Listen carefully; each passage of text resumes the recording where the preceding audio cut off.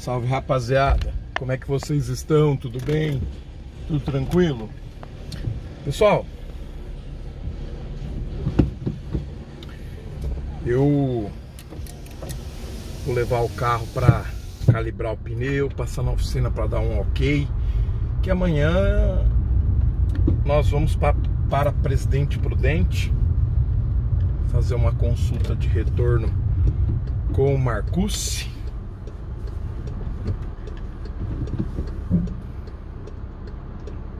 Meu ex-aluno hoje dos grandes oftalmologistas, sobretudo retinólogo deste país. Que orgulho, porque foi aluno, foi aluno lá em Jales. Grande abraço, Marcucci. Obrigado por tudo que você tem feito, pelo carinho, pela competência. E então, vocês estão percebendo, provavelmente, que eu estou fazendo um percurso que eu nunca filmei. Amanhã eu pretendo filmar alguns trechos da viagem para Presidente Prudente.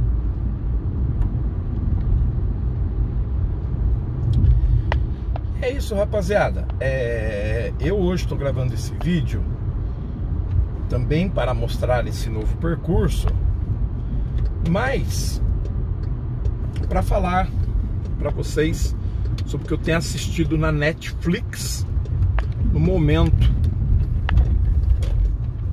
em casa, não sei há quanto tempo não se assiste canal aberto, né? nem a gente investe nessa área, porque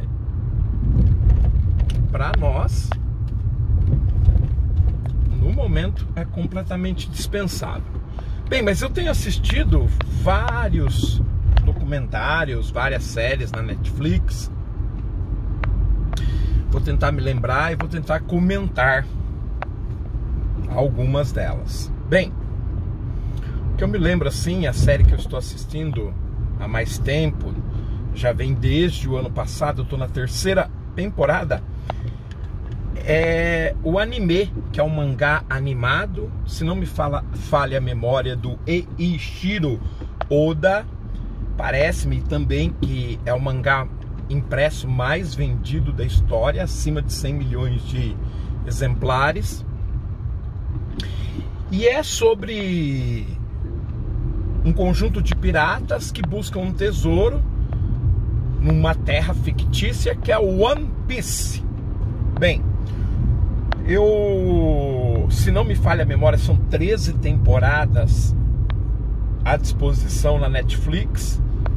Aí quase 400 episódios. Eu estou na terceira temporada eu estou no 85 episódio 85 desta desta série. E eu já havia lido uma boa parte do One Piece. Eu tenho em casa, inclusive, na minha coleção de mangás, uma quantidade bastante grande de, de, de One Piece. Então, até agora, não tem tido nenhuma novidade. E o que é curioso é que o anime ele é muito fiel ao mangá. Então é uma coisa impressionante dos produtores né, do anime conseguiram transformar material impresso numa série animada fiel àquilo que é impresso. Então realmente estão de parabéns. Eu nunca vi isso, né? desconheço isso, é a primeira vez que eu tenho esse contato. Eu achei muito bacana, muito legal. É muito bem feito, é um desenho, né? Uma série bastante dinâmica. As cores são bonitas, o enredo é inteligente, dá para crianças assistirem mas também dá para adultos, como é o meu caso, né? Assistir, acompanhar, curtir o One Piece. Então, vale a pena para quem gosta, é claro. E nós recomendamos. Bem, além do One Piece, eu também estou assistindo o Viking Valhalla, que é a continuação da série Viking. Se não me falha a memória, A série Viking, ela teve seis temporadas, eu assisti todas, também pela Netflix. E agora eu tô na segunda temporada do Viking Valhalla, que parece que acontece 200 anos depois da série original, onde já se tinha contato com a América, mas sobretudo a Europa e o Oriente Médio. Havia uma dinâmica muito grande de interligação entre povos.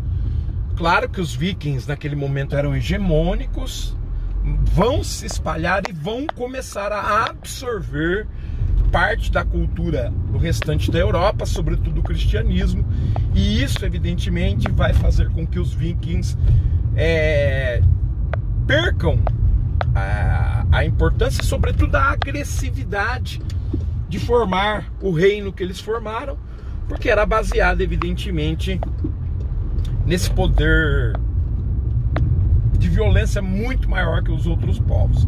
Então agora está acontecendo um processo de aculturação, de sincretismo, muito bem narrado, muito bem feito.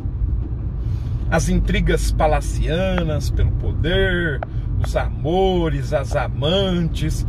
É, é, eu, eu não, não, não chego a comentar, comento sempre por cima que eu não estou fazendo análise de cada episódio, eu apenas estou resumindo a série. Eu estou chegando ao meu destino, pessoal. Daqui a pouco eu vou desligar o vídeo, mas já deu para é, contar para vocês então One Piece e Viking Valhalla segunda temporada.